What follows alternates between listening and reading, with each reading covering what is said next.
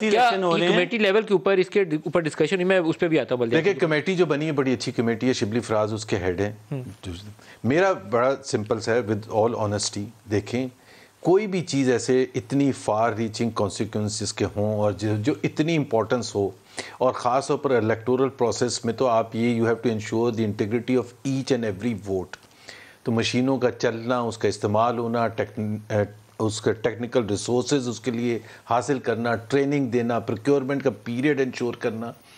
I doubt अगर ये 2023 का टाइमलाइन मेंटेन कर सकते हैं।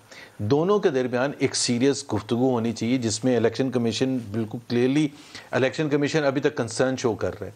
टाइमलाइन के हवाले से कंसर्न शो कर रहा है। सर अभी दो और, साल है। अगर काम शुरू कर दिया जाए तो करवाए तो जा सकते हैं। नहीं बट अगर आपकी एक बैंक ले ले ना कोई भी बड़ा बैंक ले ले उसमें एक नई टेक्नोलॉजी आती है ना नया सिस्टम आता है तो दो साल कम से कम लगते हैं।